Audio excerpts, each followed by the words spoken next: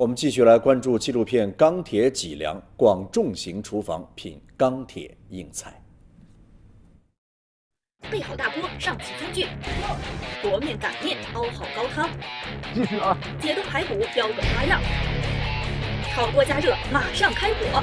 重型厨房，钢铁硬菜，天天开席，道道必点。今天我们给大家带来的是一道著名的大众硬菜，那就是精品红烧。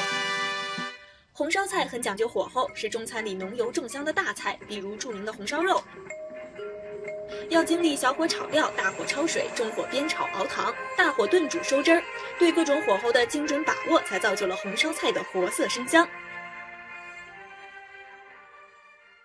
其实啊，这炼钢也是一样的，有进步啊！炼钢确实也对火候极为讲究，这直接关系到钢材的品质啊。今天呢，我就带您玩玩火。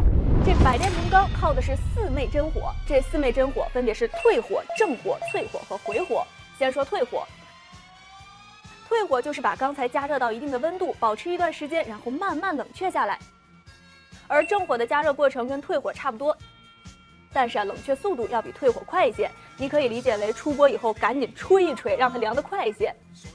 再就是淬火，前面也是加热，那就不用说了。淬火最大的特点啊就是快速冷却，这个估计大家比较熟悉，不仅见过，而且很多人小时候淘气可能还玩过，那就是把烧红的铁棍直接放到冷水里，呲啦一下，雾气弥漫，这就是简单的淬火。最后一个呀是回火，回火是将淬火后的钢材呢再次加热到一定的温度，并保持一定时间，然后再冷却下来，就像咱们做菜过程中复炸一样，把炸过的东西再炸一遍，能获得更好的口感。